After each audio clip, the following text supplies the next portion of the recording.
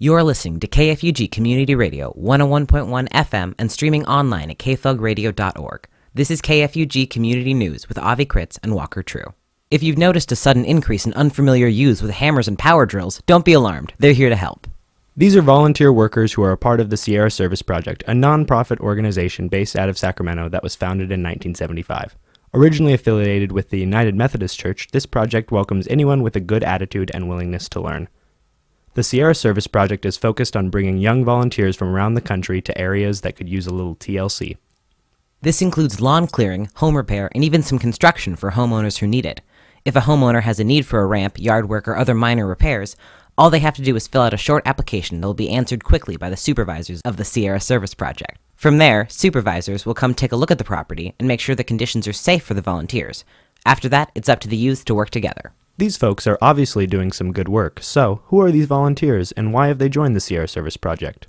We met with a group currently working on projects at KFUG DJ Don Ritter's house to ask them their thoughts and motivations for contributing to this project. Here is Emily Plukas from Santa Monica, California, speaking about her experiences with visiting these work sites. I mean, I'd say the easiest answer is to help those that need help. Um, but I really come just to make new connections with people. Um, there's so many connections I make with a homeowner, and just like learning their story, it's like really eye opening. I learn all the new perspectives, and then people on my work team, I develop connections and like learn how to talk to people. In addition to bonding with other youth participants and making some meaningful connections, they also gain some useful skills, as Smith River site director Kelsey Curry explains. It, it, they take so many shapes, the different right. kinds of skills that they can learn. Um, I think the main one is how to use power tools.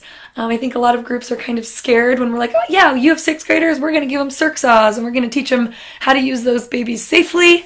Um, but we really don't discriminate by age or, or gender when it comes to giving people tools and letting them try them out.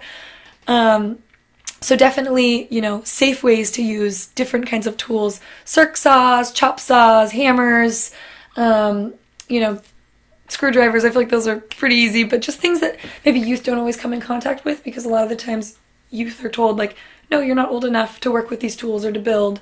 And so putting them in in their hands has been really good to teach them you know i can do this and i can do this safely and with confidence. But these kids gaining confidence and knowledge doesn't just benefit the homeowners they're helping. It can also improve the communities they will return to.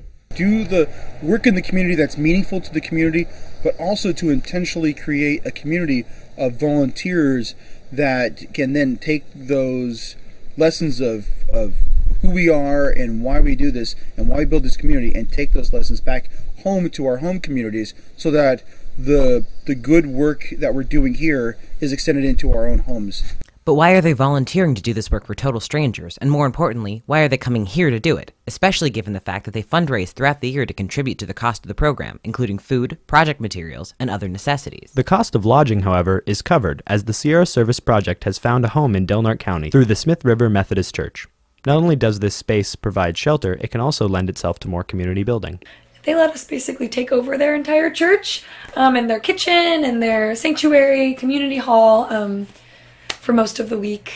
And we try to accommodate with them what spaces they need and what spaces we can't use, but they're very good about letting us use that space for all of our volunteers. At its core, the Sierra Service Project is all about volunteers going out into the world to do some good for those who need it. The bonds they build with the homeowners, as well as each other, create important connections that are strengthened every year when the volunteers come back for another outing. The heart of this project is best explained by Kelsey Curry in this anecdote about another service site in Chiloquin, Oregon, and the problem they faced last year. I think the experience that sums up just Sierra Service Project in general, mm. general to me would be hard really to pick a project right. because projects look so different across the board and you know, the youth might enjoy building a ramp more than they enjoy painting, but both make such a huge impact on a homeowner's life. So that experience would probably be last year. We call it Mega Week. Um, and I'll explain a little bit about what that was. So we have a, um, a pretty close site in Chiloquin, Oregon that also does Sierra Service Project. Um, and they have the projects up there. It's about four, four-ish hours away. And there was a lot of fires up there last year. And so they were spending a lot of their time inside the gym up there, not being able to work. The youth were getting antsy, the counselors were getting antsy, but it was just a safety issue where they, they weren't able to work with the smoke and the fires being so close. So, kind of as a Sierra Service Project whole and as a team here, um, we're like, you know what, how about they all come down that whole site and just kind of move them over to Smith River. We'll find projects, we'll find places for them to sleep. Um, we'll build that community here together. So about on Wednesday, our, our project runs from Sunday to Saturday. Um, so on Wednesday they came down and we just integrated them so fully into our into our community here, which was really cool on a working level of like having two or three teams on one ramp and like letting them communicate and build together. Um, but also in a community aspect of being like, let's all eat meals together. You know, some people are gonna have to sit outside. We're gonna have to like rotate seating. We're gonna have to have a bunch more people washing dishes. But just kind of the energy and the spirit that came with that was amazing. Um, so I feel like that really, to me, emphasizes what SSP can be of just this sometimes improvising, sometimes flexible group of people that want to serve and want to build and want to grow in their faith, but also in community together. This has been KFUG Community News with Walker Tru and Avi Critz. Thanks for listening.